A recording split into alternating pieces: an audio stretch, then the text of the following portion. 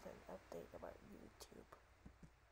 The reason why I didn't post any videos because I am sick.